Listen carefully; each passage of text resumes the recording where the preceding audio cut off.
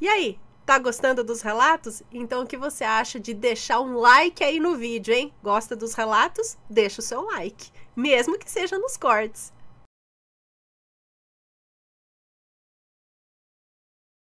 A maledite do meu pai. Vamos ver. Olá, Ana Matheus, bebês, pets e assombrados. Eu sou a fulana, mas pode me chamar de fulana. Adoro. Ana, você leu o meu relato, O Carrinho de Mandioca. Ah, lembrando que meu avô nunca mais passou naquele caminho. Eu fiquei radiante vendo você ler ao vivo. Ai, ai, ai, que delícia. Muito obrigada. Se houver nomes, já estarão trocados. E Ana, me desculpe pelo relato, pois ele será um pouco longo. Não é muito, não. Mas eu vou tentar resumir. Nessa época eu tinha 7 anos. O ano era 1979. Ana, a minha mãe tinha 24 anos quando eu nasci. E foi bem nessa época, de 1972, que o meu pai resolveu montar o seu próprio negócio.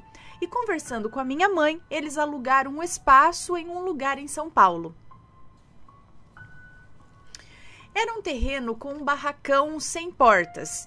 Tinha um banheiro e uma cama, tinha um banheiro e uma cama, uma mesa pequena, tipo um quartinho, pois alguém tinha que ficar por lá com o meu pai, pois não fechava nunca, já que era apenas um barracão aberto.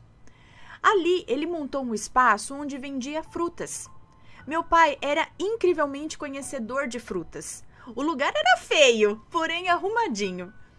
E ali ele foi fazendo a sua clientela, com a ajuda da minha mãe, que economizava até na comida comprando, é, que economizava até na comida, comprando um bife para almoço e janta, é, comprando um bife para almoço e janta dos dois e marmita e a marmita do meu pai quando conseguia. É isso? Ou era ovo mesmo? Ela me cobria com uma mantinha e jornais para me aquecer no frio.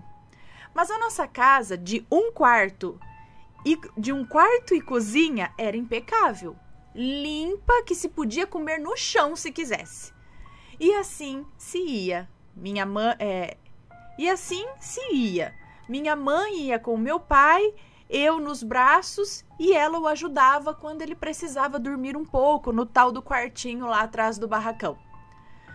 Bom, passados sete anos depois de ter sido até notícia de rádio, pois muitas vezes apareciam ratos por lá, o meu pai cresceu. Montou mais alguns barracões, agora feitos com madeira de primeira, um pátio de estacionamento, até sair a lei que esse tipo de comércio poderia ser construído em alvenaria. Os clientes? Eu não vou falar aqui os nomes, ok? Mas são pessoas conhecidíssimas, famosíssimas. Ela citou três nomes aqui famosíssimos no Brasil, ok?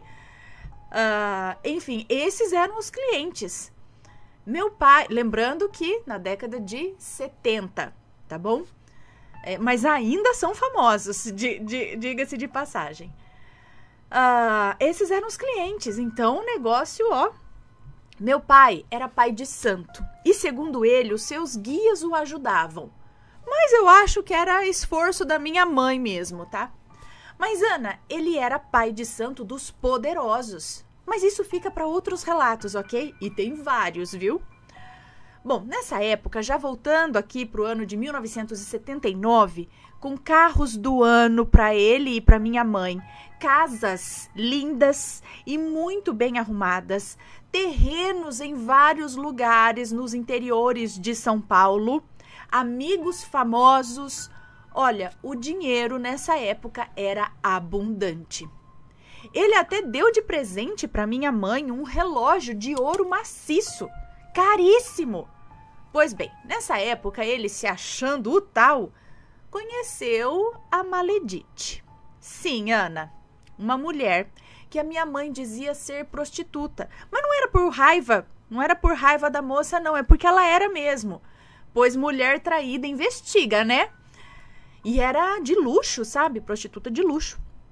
Foi aí que tudo começou a desandar. O meu pai, nessa época, tinha dois sócios, dois irmãos. Romeu e Jeremias. Os nomes estão trocados, ok?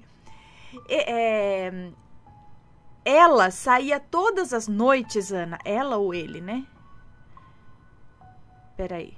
Meu pai, na época, tinha. Acho que é ele, né? Ele saía todas as noites, Ana, com a tal da maledite. E falava para minha mãe, no dia seguinte, que nenhum dos sócios estava conseguindo ir trabalhar, com a desculpa da doença deles lá, pois os dois tinham a doença de Chagas e minha mãe sabia disso. Então ela não se importava, ela só sentia pena por, o meu, por meu pai ter que trabalhar tanto. O maldito, mas que raiva! Bom, cuidava da casa, acho que minha mãe, né? Minha mãe cuidava da casa, de mim e do meu irmão mais novo, o segundo filho. É isso? Minha, é, minha mãe cuidava da casa, cuidava de mim e do meu irmão mais novo, o segundo filho, o Ismael. Até que certo dia, minha mãe foi lá na banca, pois era chamado assim o barracão, chamavam de banca, né? Ela foi lá na banca avisar os sócios que o meu pai não ia trabalhar porque ele estava doente, estava passando mal. Ana era atravessar a cidade, pois lá não tinha telefone, tá? Então minha mãe saiu da zona norte para a zona sul para avisar, coitadinha. Numa dessas, o Jeremias não aguentou e contou tudo para minha mãe, que de tão angustiada, triste e sem chão, pois ela o amava, ela não conseguiu nem voltar para casa dirigindo. Teve que voltar de táxi, chorando e muito abalada. Confrontou meu pai e já viu, né? Ele, para tentar contornar a situação, falou para minha mãe que que para tentar contornar a situação, falou para minha mãe que ela, é isso? Não sei, andava com gente perigosa e que ele havia saído com ela uma única vez. Mas sabendo da fortuna do meu pai, ela ameaçava a minha mãe de morte, pois ela a conhecia. Ana Maledite era tão filha da mãe que ela vendia pipas pra gente no pátio do estacionamento da banca quando ela sabia que era dia da semana que a minha mãe ia lá com a gente. Então ela estava por ali, ela conhecia a família, tudo, vendia as pipas para as crianças e tal. E, e bom, a minha mãe a tratava super bem, na inocência, sabe, tadinha. O pior estava acontecendo. Ela vigiando e por fim, quando meu pai disse a ela que preferia, tá, peraí. O pior estava acontecendo. Acho que a Maledite estava por ali vigiando. E por fim, quando meu pai disse a Maledite que preferia a família, ela foi até a minha casa para acabar com a minha mãe. Tipo, acabar com a vida dela. Ela desceu de um carro chique, toda de salto alto e vestido vermelho, com uma arma na bolsa bateu palmas no portão da minha casa e uma das minhas tias saiu. Ela pediu para chamar minha mãe, mas a minha tia viu a arma e, esperta, falou que minha mãe estava no mercado e que ia demorar. Graças a Deus, ela foi embora. Ana, depois disso, com medo da maledite, o meu pai vendeu tudo que tinha a preço de banana e fugiu para um lugar onde só havia lotes e sete casas no meio do mato, onde só havia lotes e sete casas no meio do mato. Era um ovo de cidade. Ana, naquela época não tinha.